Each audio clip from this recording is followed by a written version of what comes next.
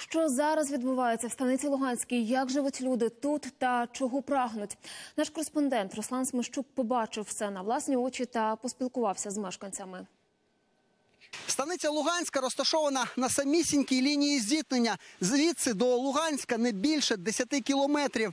І от місто з 14-го року живе в епіцентрі активних бойових дій. Навкруги ліси понівечені снарядами. Всередині пусті та побиті будинки. 70% станицы нету. Вот и считайте сколько.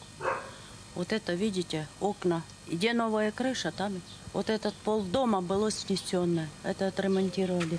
Здесь не было ни крыши, ни окон, ничего. Хотелось бы, чтобы вообще все ушло, чтобы мир настал. У меня у дочки нету жилья. Ніна Михайлівна веде нас на подвір'я. Цей город допомагає їй виживати серед порожніх хат. Я пошла, вырыла уже картошки свежей, уже меня не купить. Куда-то ехать, одна пенсия, что с меня? А это ж не живут люди.